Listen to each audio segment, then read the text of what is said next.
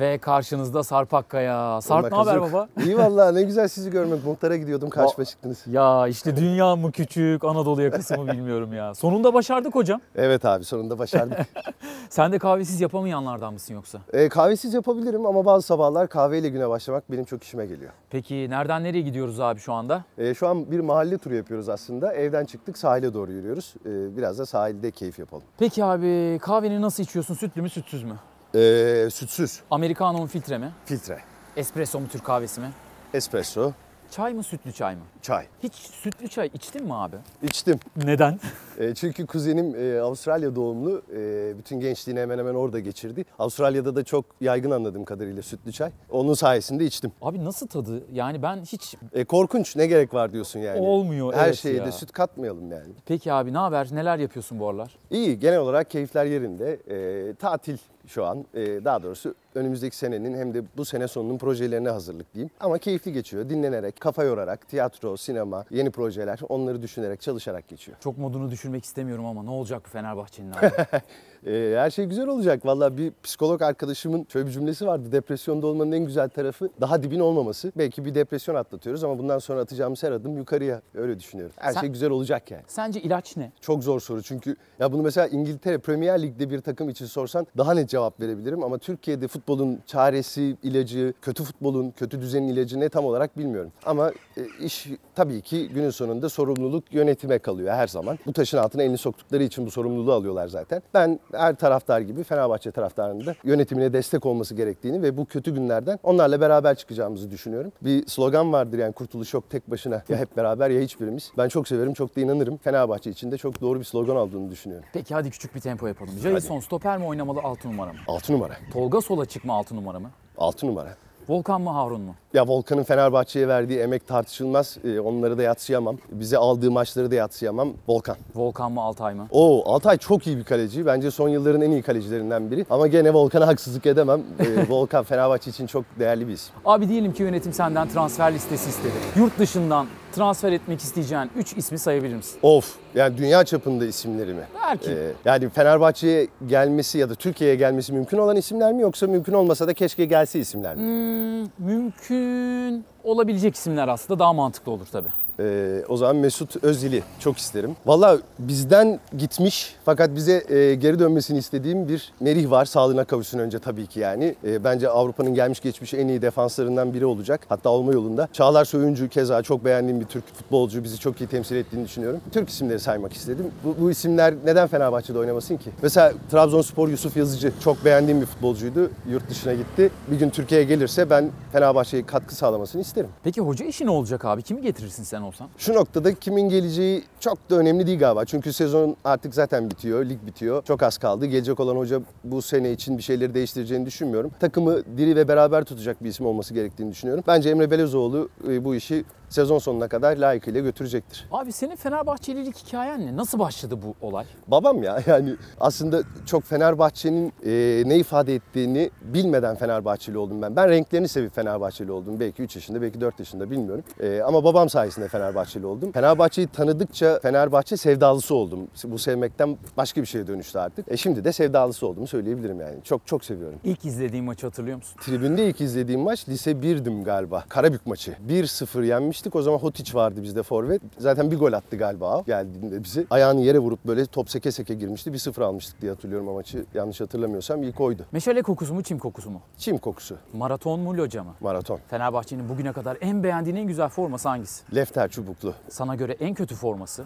En kötü forması bir deplasman formamız vardı. Yeşil. Yeşile dönük bir Hmm, renk evet. böyle. Onu, onu çok sevmemiştim. Fenerbahçe tarihinde keşke ben atsaydım lan dediğin 3 golü sayabilir misin? Tuncay'ın Manchester United'a attığı e, o muhteşem voley, röveşata voley karışı bir, goldü. E, David'in Chelsea'ye attığı gene ceza sahası dışından bir gol. Çok iyi bir goldü o da. E, bir de Boliç. United'a attığı gol. Evet, evet. Bolic'in attığı gol bir de doğru. Fenerbahçe tarihinde seni en heyecanlandıran transferi hatırlıyor musun? Anelka çok heyecanlandırmıştı. Yani Alex çok büyük futbolcu ama bize geldiğinde belki de o kadar yıldız daha parlamamıştı. E, ama Anelka'nın geleceğini duyduğum zaman çok heyecanlanmıştım. Seni en büyük hayal kırıklığına uğratan transferi hatırlıyor musun? E, Avrupa gol kralı olarak gelen Guiza bizi bayağı bir hayal kırıklığına uğratmıştı yani. Şaşırtan transfer. E, Van Persie'ye şaşırmıştım. Abi izlediğin Fenerbahçelerden bir 11 yapabilir misin desem zorlar mıyım seni? Zorlarsın ama deneyeceğim. Ama istiyorum ben de. Durup düşünebiliriz istiyorsan şöyle. olur, düşünelim. Sol bek Santos, o net. Roberto Carlos. Aa Roberto Carlos, hakkını yemeyeyim doğru. Roberto Carlos ama Roberto Carlos daha böyle kariyerinin sonlarına doğru Fenerbahçe'ye geldi. Tabii. ya. Ama Santos bizde bayağı gençliğini de geçirdi yani. Ama tabii ki Carlos gelmiş geçmiş en büyük efsanelerden biri Fenerbahçe'ye. Hatta en şaşırdığım transferlere de Carlos'u da eklemezsem içimde kalır. Uche Hög'ü bölmeyi hiç istemem fakat Lugano gibi bir efsane varken onları bölmek zorundayım ve e, Uche Lugano diyorum. Hmm. Hög dışarıda kaldı yani. Vallahi kaldı. Yani Sağ. Lugano, Lugano çok acayip bir adam. Yani en son Türkiye'ye geldiğinde de e, tribünden maç izledi. Biliyorsundur zaten makyaj, Aynen. işte sakallar falan takarak böyle tam bir Fenerbahçeli bence Lugano. E, saat beke Gökhan Gönüllü koyarım. E, Gökhan'ın ahlakını da, üslubunu da çok beğeniyorum. Futbolunu da çok beğeniyorum. Gençliğinde tabii ki çok daha iyiydi ama hala daha çok takdir ettiğim bir futbolcudur. Orta sahaya Emre Belezoğlu'nu tabii ki e, yerleştiririm. Alex var herhalde. Alex önde. Emre'nin yanına kimi koyarım diye düşünüyorum. Ya Gustavo bence çok önemli bir futbolcu. Çok iyi top oynamadığımız bu dönemde takımı bayağı sırtlayacak hem lider ruhuna sahip hem de çok kaliteli bir ayak. E, Gustavo'yu da koymadan geçemeyeceğim. Önlerine de Alex'i koyarım. E, sağ tarafa Anelka'yı koyarım. E, sola Tuncay'ı koyarım tabii ki. Forvet. Valla uzun yıllar forvet sıkıntısı çektik. Sov benim için çok kıymetlidir. E, çok kıymetli forvetler geldi. Webos'u, Sov'u vesaire ama Sov, e, Sov'un o rövaşatası, imza golü beni çok etkiler. O yüzden Sov diyeceğim. Hocaya kimi yazacağız? Hmm, Zico. Peki sarı mı lacivert mi? Sarıysa lacivert, lacivertse sarı. Zico mu Pereira mı? Zico. Alex mi Hacı mi? Alex. Anelka mı Ortega mı? Ortega. Daum mu Laurent mı? Daum. Hög mü Uçe mi? Burada da Hög dersen kafam karışacak ama söyleyeyim. Yok yok Uçe. Galatasaray mı Beşiktaş mı? Fenerbahçe her zaman. Ali Koç 3 kelimede. Üç kelimeyle çok zor anlatmak ama ya Fenerbahçe sevdalısı. Bunu kelime olarak değil de böyle tamlama belki söyleyebilirim. Hayatını Fenerbahçe'ye adamış biri ve başarılı olacağına çok inanıyorum. Türk futbolu 3 kelimede. Genel olarak Türk futbolunu konuşacak olursak keyif, zevk, beraberlik, beraber maç izleme, aile, e, Türk futbolu benim için hayatta bunları ifade ediyor. Fakat bugün korkunç, izlenesi değil, ne olduğu belli olmayan bir halde bence yani. Yavaş yavaş deniz kenarına doğru hareketlenelim mi? Olur. Ya bu arada Türk futbolu dediğimiz zaman ben sadece futbolcular, yönetim, işte federasyon vesaire değil bir şey daha eklemek istiyorum. Bu genelde çok konuşulmuyor ama yorumcular. Yani maç sırasında maçı yorumlayan da maçtan sonra maçı analiz edenler de o kadar ya %80 bilgisiz ve boş konuşmalar dönüyor ki benim aklım almıyor. Yani hiç kimse mesela çıkan takımların dizilişinden neden o kadro ile çıktığından, neden o dizilişte çıkıldığından kimse bahsetmiyor ve şöyle şeyler konuşuyor. İyi iyi iyi oynadı bugün, iyi oynadı. Kötüydü, çok kötüydü falan. Bu buradayız yani futbol yorumlarında. Bu da beni çok güldürüyor. Bir iki tane futbol yorumcusu var takip ettiğim. Onun dışında hiçbirini takip etmiyorum. Yurt dışında en çok takip ettiğin 3 lig hangisi? Ee, Üç lig takip etmiyorum açıkçası ama Premier Ligi mümkün olduğunca takip ediyorum. Çok seviyorum Premier Lig futbolunu. Ya inşallah belki ben görmem ama günün birinde Türkiye'de de böyle futbol oynanır. Ekstra sempati duyduğun bir takım var mı peki yurt dışında? E, Liverpool'u severim. Vay güzel. E, yani o ya hiçbir zaman yalnız yürümeyeceksin. Benim için önemli bir cümle. Türk futbolunda seni en çok heyecanlandıran 3 futbolcu kim abi? Birine Yusuf'u yazacağız herhalde. Evet Yusuf'u yazacağız. Gene Türkiye'de oynamıyorlar ama işte yani Merih ve Çağlar bizi çok iyi temsil ediyor ve onların o başarısı beni heyecanlandırıyor. Yoksa Türkiye Ligi'nde Sörlot mesela Trabzonspor'un forveti çok iyi top oynuyor. Onu izlerken e, keyif alıyorum. Keşke bizde olsa dediğim futbolculardan biri. Ama onun dışında yok ya. Sarp Totem'e inanır mısın baba? İnanırım. Yani o fala inanma, falsız kalma kafasında inanırım. Peki totem yapar mısın? Yaparım. Bugüne kadar yaptığın en saçma totem? Ee, hep yaptığım en saçma totem. Allah Allah. Arkadaşlarımla beraber maç izlemeyi seviyorum. Ve eğer işler yolunda gitmiyorsa mutlaka yer değiştiririz. Bir arkadaşımızın evinde çok ciddi bir yenilgi aldıysak çok uzun zaman o evde maç izlenmez Hmm. Yani. Peki duyduğun ya da tanık olduğun en absürt totem? Bu ne Evet lan bir dediğin? arkadaşım her maç eğer tribüne gidiyorsa çamaşır giymeden gidiyor maça. Allah Allah. Evet böyle bir totemi var tuhaf. Bu arada kendi mesleğinde totemin var mı abi? Yani mesela sahneye çıkmadan, kamera karşısına geçmeden mutlaka yaptığın bir şey. Yok. Yani ona totem diyemem. Yani sahneye çıkmadan tiyatroda da kamera karşısında da mutlaka bir kere üzerinden geçerim kendi kafamda sahnenin. Ama bu totem sayılmaz. Bu zaten mesleki bir gereklilik diye düşünüyorum. Baba Fenerbahçelilik durumuna hanım ne diyor? o da Fenerbahçeli. mutlu bundan yani. Sadece ya tabii ki Fenerbahçe yenilgi aldığı zaman e, o gün benim için çok mutlu bir gün olmuyor. Bu ona da yansıyor mu? İlla ki yansıyordur yani. Ama bir şey dediğini söyleyemem. Ufukta yeni proje var mı? Var. Bir sinema filmi var. Bir tiyatro oyunu üzerine çalışıyorum Aa, çok inşallah. güzel. Ekim ayı gibi falan onu sahneye koymak istiyoruz. Daha doğrusu şimdi çalışıp Ekim'de sahnelemek istiyoruz yani. Var güzel projeler var evet. Bugüne kadar oynarken en keyif aldığın karakter hangisi? Sarı Bilal. Neden? Çok özgürdü o kendi içinde. Yani e, karakter hikayede belki çoğu zaman esaret altında ve sıkışmış olabilir ama e, Bilal kendi içinde dünyanın en özgür özgür adamlarından biriydi yani. Çok severdim oyunu. Peki en zorlandığın? Karakter. Evet. Konuk oyuncu gitmiştim bir filme. Mehmet Ada Öztekin'in e, Martıların Efendisi Mehmet Günsür oynamıştı e, Bilge Önal'la. Orada bir sahnelik bir rolüm vardı fakat çok zorlanmıştım. Çok çok zordu. Galiba en çok orada zorlandım. Kendine en yakın hissettiğin karakter hangisiydi abi? Hepsinde kendimden bir şey buluyorum açıkçası. Yani şu rol bana daha yakın, bu benden çok uzak diyemem. Çünkü her oynadığım rolde mutlaka benden bir şey vardır. Suskunlar dizisinde en zorlandığın sahneyi hatırlıyor musun? Tabii. Hangisi? Dokundular mı oğlum sana o sahne? Çok çok zorlanmıştım. Çünkü oynadığımız karakterlerin Türkiye'de bir karşılığı ne yazık ki var. Ve bazen set ziyaretlerine gelen izleyicilerimiz olurdu. Onlarla sohbetlenirdik. Onlardan duyduğum şeyler de beni çok etkilemişti. O yüzden o sahne ve o, o karakter, o dizi, Suskunlar benim için çok kıymetli ve özeldir. Hocam seni biraz daha zorlayacağız. Hadi. Suskunlar mı ezel mi? Oho! Biraz sert girdik. ya insan- anne babaya hangi çocuğun dem- demek gibi bir şey yani.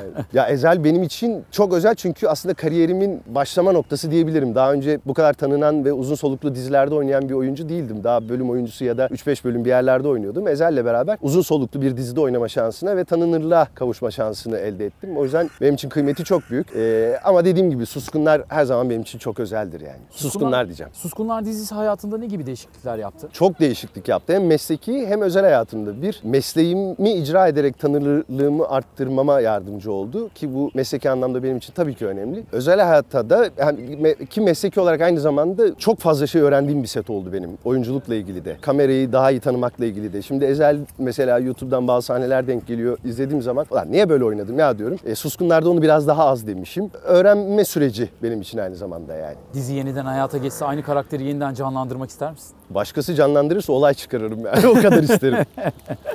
Tefo'yu üç kelimeye sığdırabilir misin? Sadakat, vicdan azabı ve şebnem. Tefo mu sarı mı? Sarı. Servet mi sarı mı? Sarı. Rıza Kocaoğlu mu Barış Falay mı?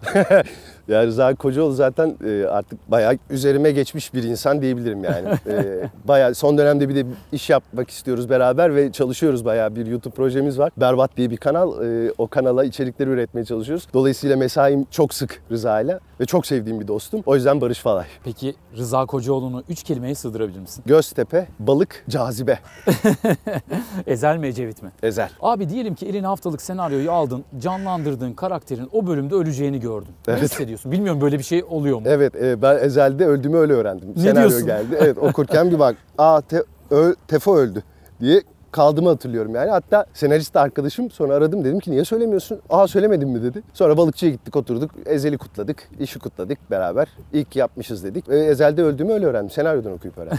Fırtınada ağaçlar nasıl çatırdar? Allah rahmet eylesin. Tuncel Kurtiz tabii yani. Gözümün önünden hiç gitmiyor. Oynadığım hiçbir sahne, onunla paylaştığım hiçbir an gitmiyor. Birçok yapımda sert rollere sert karakterler verdin büyük başarıyla. Peki günlük yaşamda nasıl bir adamsın abi? Şöyle çökelim mi? Hadi çökelim. Haydi. Ya günlük yaşantımda olabildiğince kendim olmaya çalışan, samimi olmaya çalışan, hiç de öyle sert bir adam da değilimdir açıkçası yani. Kırmızı çizgin nedir? Saygı. Kırmızı çizgin aşıldığında ne tepki verirsin?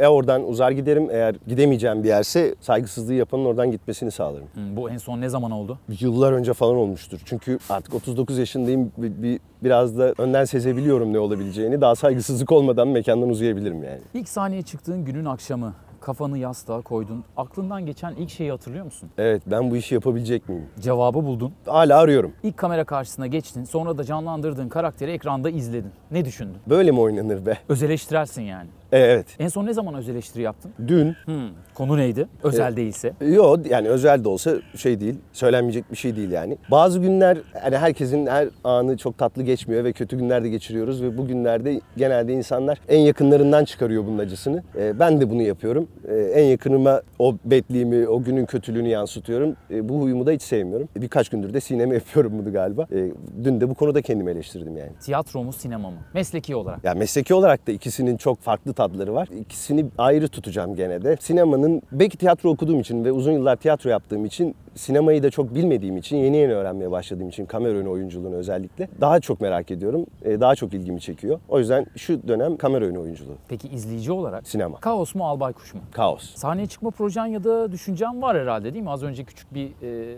paylaşımda bulundun. Var. Bir, bir oyun var. Şimdi e, onu çalışmaya başlayacağız ama sezon sonu tiyatro için sezon sonuna geldiği için e, muhtemelen Ekim ayında e, sahneye koymaya başlayacağız ama 10 yıl aradan sonra tiyatroya dönmek gibi bir arzum var. Evet. Hiç pişmanlığın oldu mu? Tiyatro yapmadığım için mi? Yok, kariyerinde, hayatında. Pişmanlığım olmadı ya. Sinem'in sana en son yaptığı eleştiriyi hatırlıyor musun? Evet, niye bu kadar kıl davranıyorsun?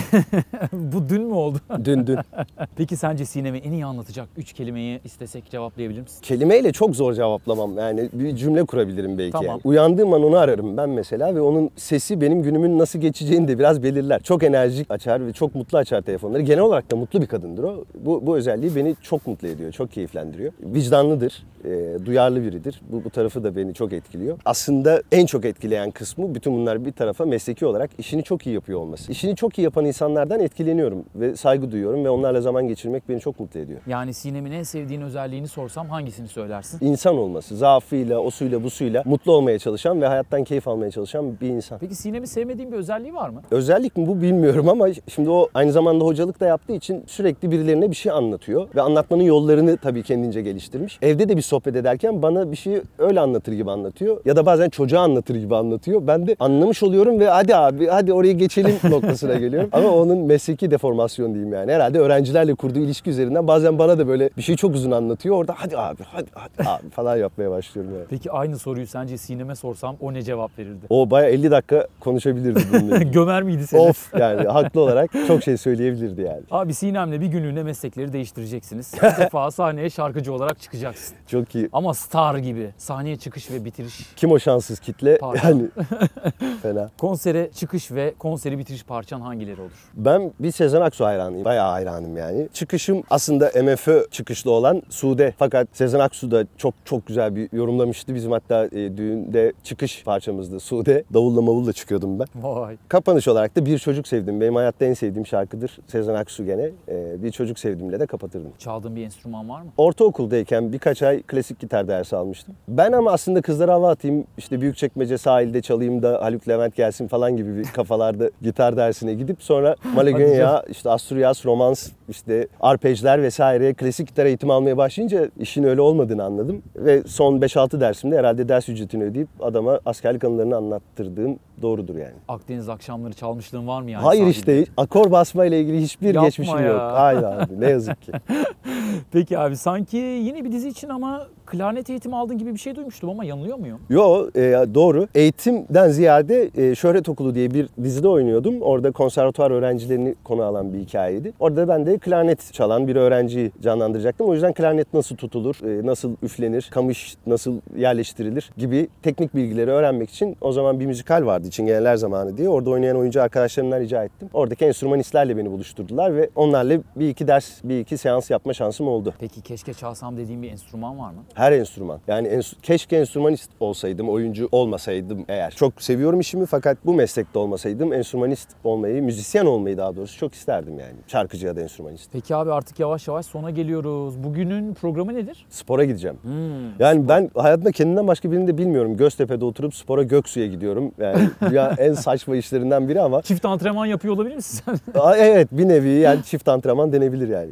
Şimdi de spora gideceğim. Peki haftada kaç gün spor yapıyorsun bu arada? 3 minimum yapmaya çalışıyorum. 4 yaparsam kendimi seviyorum ve takdir ediyorum. Fakat spora alışmış biri değilim. Hala spordan çıktığımda niye buradayım diyorum. Hatta spor yaparken arada niye buradayım diye hocama da sorduğum oluyor yani. Profesyonel sporculuk geçmişin var mı abi? Hayır. Profesyonel seyirci geçmişim var ve hep öyle kalsın da isterim aslında. Peki abi o zaman sana kolay gelsin diyelim. Teşekkür yavaş ederim. yavaş iznini alalım. Ya ne demek? İyi ki geldiniz. Muhteşem bir sohbet oldu benim Valla için. çok keyifliydi. Teşekkür ediyoruz. Ben teşekkür ederim. Görüşürüz abi. Eyvallah abi.